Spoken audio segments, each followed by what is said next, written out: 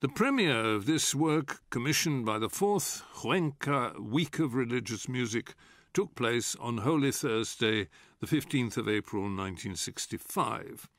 The work scored for three sopranos, men's chorus, and an orchestra consisting of strings without violins, two flutes, celesta, vibraphone, timpani, and percussion. The music of this hymn is based on a scale formed of nine notes. The first symbolic number B, F, A, C, D, E, F, G, and C, although the composer is not bound by the symbolism suggested by the text. This, in a very special and unexpected way, leads to the final cadence on a chord of A major, or tierce de Picardie, as the French Baroque masters would have called it, although I'm happy to say that this work has nothing of that style about it. As a result, there's no place here for any Gregorian or Ambrosian influence, which would in any case have made impossible that beautiful and eternal heavenly invocation of the psalm, which, for purely musical reasons, is not included here in its entirety. The second symbol is to be heard in the delicate repeated notes uttered by the celesta, D, F, G, D flat, F, E, C. And finally, the third of the symbols is the prayer to the three archangels, symbolized by the three soprano voices who hover above, protecting, by reason of their divine nature, the men's chorus, those disciples of Qumran, ascetics, sages, and tenacious watchers of the stars and the sky so eternally mysterious to mankind.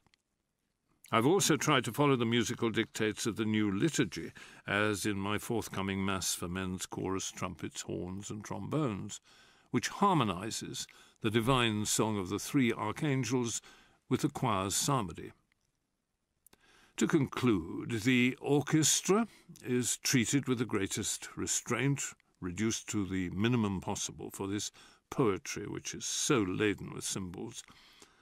The percussions deployed not for its bell like sounds, but at times in an expressive way, as in the case of the vibraphone, which is here used in a virtually symbolic role. I wanted to associate myself with this beautiful hymn, and I can assert that my humble music is nothing more than this Franciscan humility in the presence of the beauty of this psalm of the disciples of Qumran.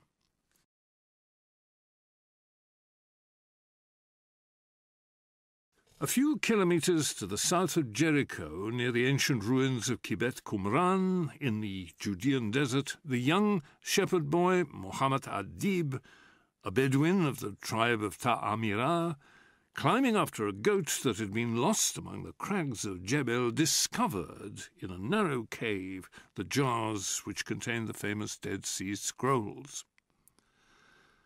Since 1947, the date of their discovery, the greatest in modern times, as Lankester Harding affirms, these ancient rolls of parchment have caused veritable oceans of ink to be spilled around the world.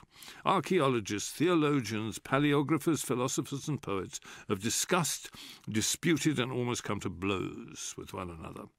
Today, 15 years later, the storm has abated and these rolls of incalculable value are resting at last in the temperature controlled rooms of the Jerusalem Museum.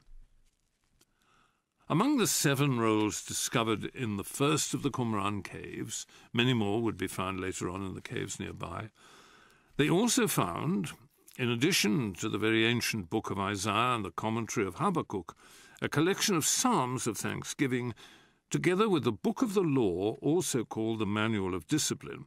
And this last book ends with the extremely beautiful psalm, which Theodor has called Hymn of the Disciples of Qumran, the first verse of which was chosen by Joaquin Rodrigo for his composition of the same name.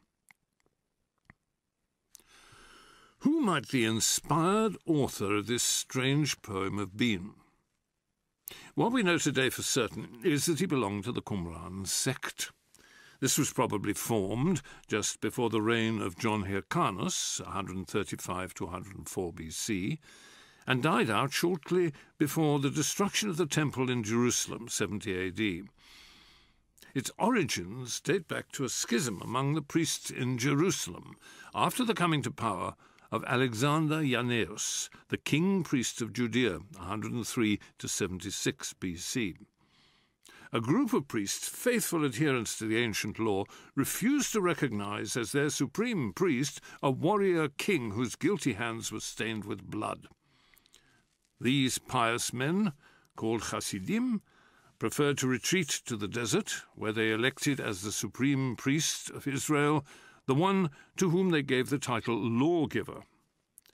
Beside the Dead Sea, they built a monastery, where they founded a small community of sages and ascetic philosophers, united there to dedicate their lives to praising God and to penitence. They kept vigil for much of the night in order to fervently pray and to study the mysteries of the vault of heaven and the movement of the stars, observing faithfully the precept of the new alliance. From the commentary of Habakkuk, we learn that the second lawgiver, whose strong personality can be sensed from the manuscripts, was taken from his refuge on the Day of Atonement by Alexander Jannaeus himself, who condemned him to be crucified, handing him over to his mercenaries, together with all the others who would not recognize his authority. According to Dupont Sommer, this amounted to some 6,000 people. The writers of the commentaries tell us that this cruel punishment, which was used in the Roman Empire, was imposed for the first time in Israel on this very occasion by the cruel tyrant. Commentary of Habakkuk. Might there not be found amongst these martyrs for their faith the anonymous author of the hymn of the disciples of Qumran, in whose ancient verses there's already reflected together with the love of God as creator of the world with all its natural wonders, that profound lyrical beauty and those mystical elements which we will find again many centuries later in the poetry of San Juan de la Cruz and Fray Luis de Leon.